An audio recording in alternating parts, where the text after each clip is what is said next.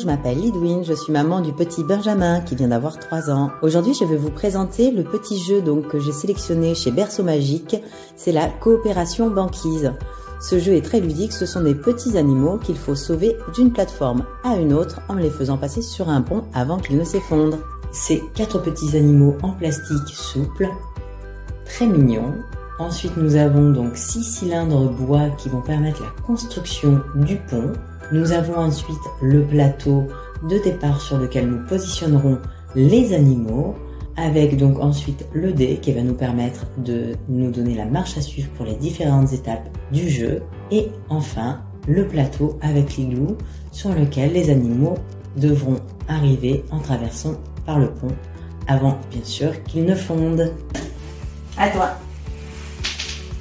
Ah, igloo encore. Igloo, tu peux les sauver le petit chien. Bah, vraiment, on s'est amusé. C'est rigolo, simple. Les parties sont rapides et pour leur concentration, c'est vraiment parfait. Donc vraiment, je le recommande sans hésitation. Merci encore, Berceau Magique.